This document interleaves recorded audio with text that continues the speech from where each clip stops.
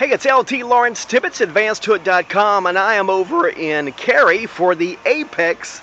Get that in Cary for the Apex Business Expo. Hundreds of businesses gathering, showing off products and services, how they can help you. And this is a great event to stop by 11 to 3 and introduce yourself because, hey, if you've been to Apex lately, it's trying to heat up the coals new executive director over at the Chamber of Commerce, and it's just getting hotter over there. Great things happening. A great friend of mine just gave a great endorsement for Rock Harbor. I think that's a new restaurant, seafood, a lot of seafood, and he says that is the best he's had in a long time. Rock Harbor, I believe, downtown Apex. You check it out. We are checking out many of the businesses at Apex Business Expo happening today, 11 to 3 at Prestonwood Country Club in Cary. I'm LT. Connect with me at advancedhood.com, Facebook, LinkedIn. That's Lawrence Tibbetts, T I B B E T T S. I do like commercial kitchens. I'll see you in Apex or Cary, but I am talking about Apex downtown, all the business activity happening in Apex. Talk to you real soon.